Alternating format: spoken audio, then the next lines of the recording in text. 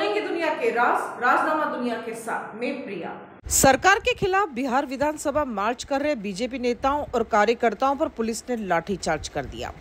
Police पिटाई में कई नेता और कार्यकर्ता घायल हो गई वहीं पूर्व डिप्टी सीएम सुशील मोदी ने दावा किया कि पुलिस की लाठीचार्ज में जहानाबाद के मंत्री विजय कुमार सिंह की लाठीचार्ज में मौत हो गई। नेता प्रतिपक्ष विजय सिन्हा समेत कई नेता पार्टी कार्यालय पहुँचे। वहाँ मृतक बीजेपी कार्यकर्ता को श्रद्धांजलि दी गई। पुलिस ने महाराजागंज सांसद जनार्दन सिगरीवाल को भी लाठी से पीटा और धक्का दिया। इसमें वो घायल हो गए। उनके सिर और चेहरे पर चोट आई। जनार्दन सिंह सिगरीवाल आईजीआईएमएस के प्राइवेट वार्ड में एडमिट है। उनका सीटी स्कैन हुआ है, ब्रेन नॉर्मल है, सांसद को वायु सुरक्षा मिली हुई है। पिटाई के समय उनके सुरक्षा कर्मी भी मौजूद थे। बीजेपी नेताओं और कार्यकर्ताओं को डाक बंगला चौराहे पर पुलिस ने रोकने की कोशिश की थी। जब वे नहीं माने तो पहले वाटर कैनन से पानी की बौछार की। आँसू गैस के गोले छोड़े, फिर दौड़ा दौड़ा कर पीटा।